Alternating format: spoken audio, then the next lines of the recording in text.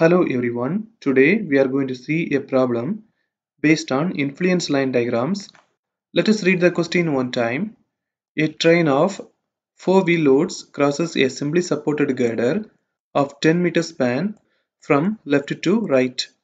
Using influence lines, calculate the maximum positive and negative shear forces and maximum bending moment at 4 meter from the left support. Also, calculate the absolute maximum bending moment anywhere in the beam. You can see that in the question, four wheel loads are given. These loads are moving from the left to right. We have to make influence lines, then we have to calculate the maximum positive and negative shear force and maximum bending moment at 4 meter from the left support. Also, we have to calculate the absolute maximum bending moment. In this question, First, let us calculate the maximum positive and negative shear forces. Let us make a point that is point C at 4 meter from the left side. We know the formula for the ordinate for maximum positive shear force L minus x by L. The total length of the beam is 10 meter. x is equal to 4 meter. Finally, we are getting 0.6. Ordinate for maximum negative shear force is equal to x by L x is equal to 4 l is equal to 10 here we are getting 0.4 now let us calculate the maximum positive shear force. We are having four loads. We have to keep these four loads over the positive shear force diagram. Right now w4 is in the point c. In some cases when we move one or two loads on the left side the positive shear force may increase First, let us move W4 on the left of C and check whether we are having any decrease or increase in the positive shear force. Right now, W4 is in the point C, but when we move W4 on the left side, W3 will come in the point C. You can see that I have moved W4 on the left side. Now W3 comes in the point C now let us apply the shear increment formula WD by L minus W4. Here W4 comes because W4 is the load which we moved on the left of C. W is the total load. When adding the total load we have to be very careful. We should not add all of the loads. Before moving W4 we had only 3 loads in the beam. The 10 kN load is on the right of B it is not inside the beam so we should not take it. So for the W value we have to add these three loads. After adding these three loads we are getting 130 D is the distance in which we have moved the load. We have moved the load at a 2 meter distance so we have to apply to L is the total length. The total length of the beam is 10 meter. W4 is equal to 40 finally we are getting minus 14 we are getting a negative value. That means when we keep this load on the left of C, the maximum positive shear force decreases. So we should not keep this load on the left of C. We must keep this load in the point C. That means just to right of C. Because on just to right of C only, we are having the coordinate for the positive shear force. You can see that I have kept W4 just to right of C now let us calculate the ordinates.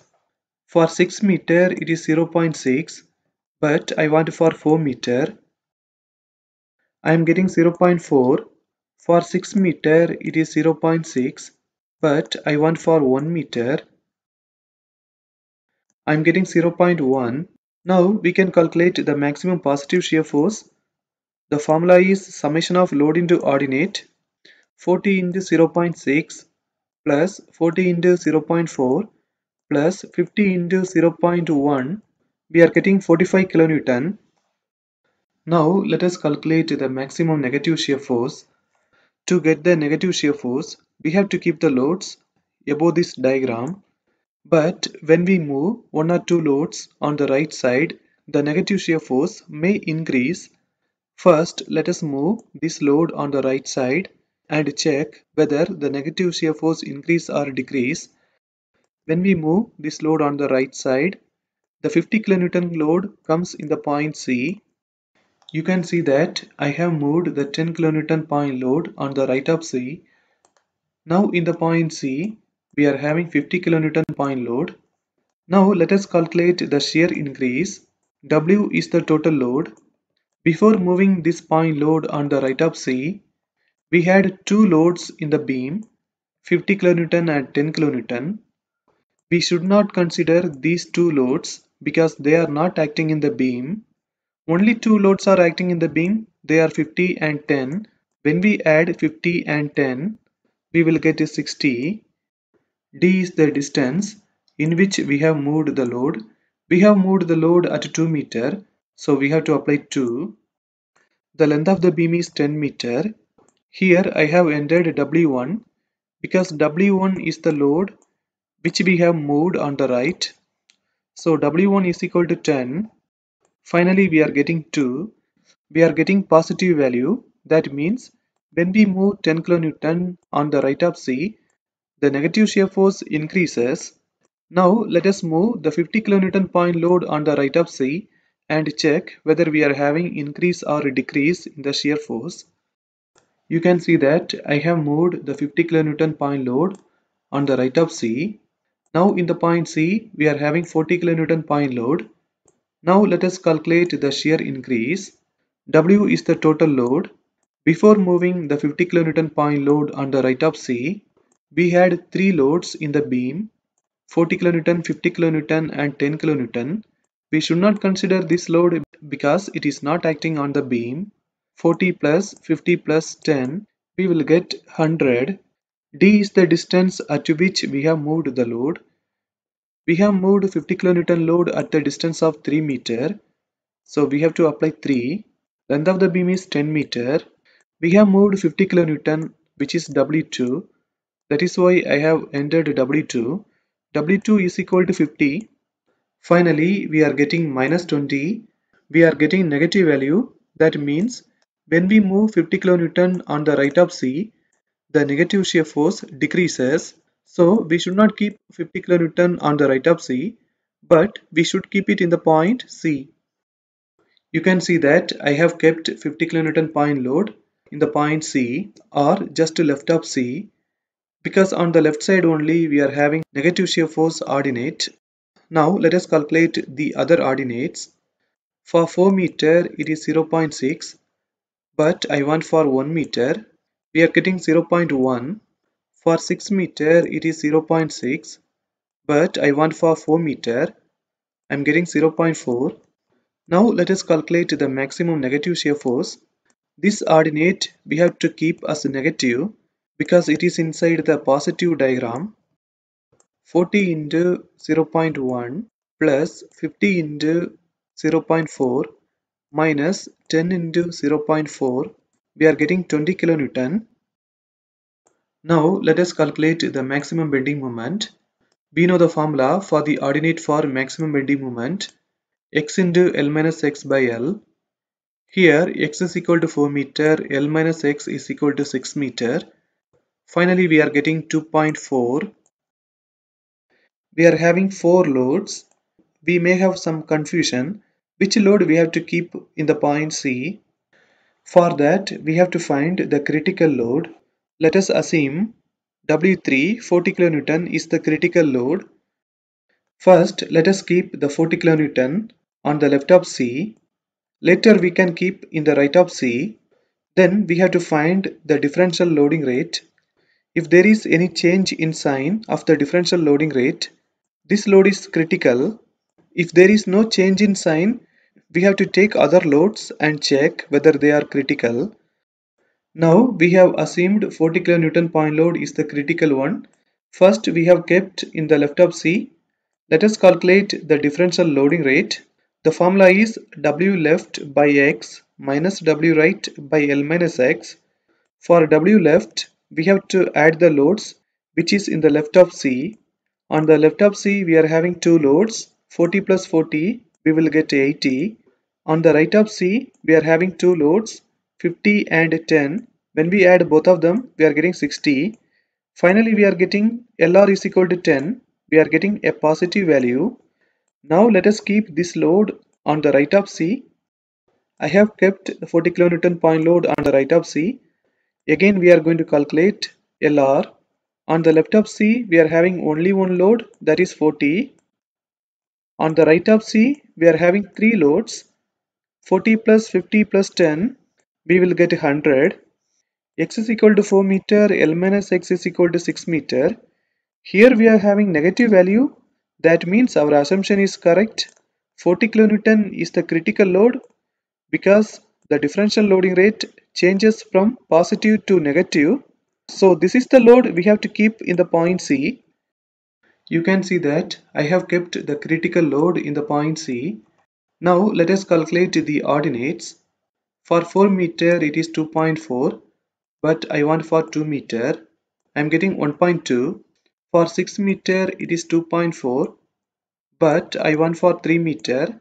I am getting 1.2 for 6 meter it is 2.4 but I want for 1 meter I'm getting 0.4. Now let us calculate the maximum bending moment.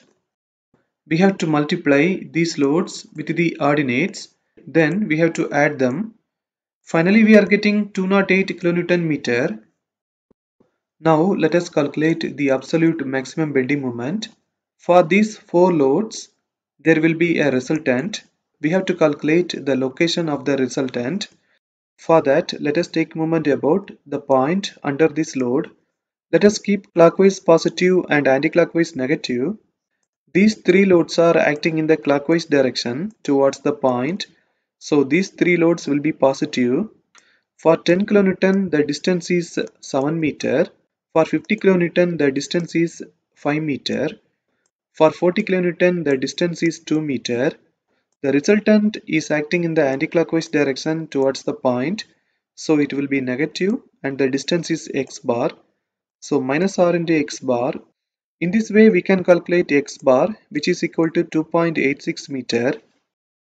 The maximum absolute bending moment occurs under the load which is nearer to the resultant. W3 40 kN is nearer to the resultant. Let us calculate the distance between W3 and the resultant R. 2.86 minus 2, we will get 0.86 meter. So this distance is 0.86 but we want the center point. Let us calculate the center. 0.86 by 2 we are getting the center. So this is the point we have to keep in the center of the beam. So W3 40 kilonewton should be kept at 0.43 meter at left of center of the beam. You can see that I have kept 40 kilonewton at 0.43 meter left of C. We know the formula for the ordinate of maximum bending moment x into L minus x by L. This ordinate should be kept in the 40 kilonewton point load. On the left of 40 kilonewton point load, we are having 4.57 meter and on the right side we are having 5.43 meter so x is equal to 4.57 and L minus x is equal to 5.43 the total length is 10 finally we are getting 2.48 now let us calculate the other ordinates. For 4.57 it is 2.48 but I want for 2.57 meter. We are getting 1.39 for 5.43 meter it is 2.48 but I want for 2.43 meter. I'm getting 1.11 for 5.43 meter it is 2.48 but I want for 0.43 meter I'm getting 0.19 now we can calculate the absolute maximum bending moment we have to multiply the loads with the ordinates then we have to add them Finally, we are getting 212.2 kilonewton meter.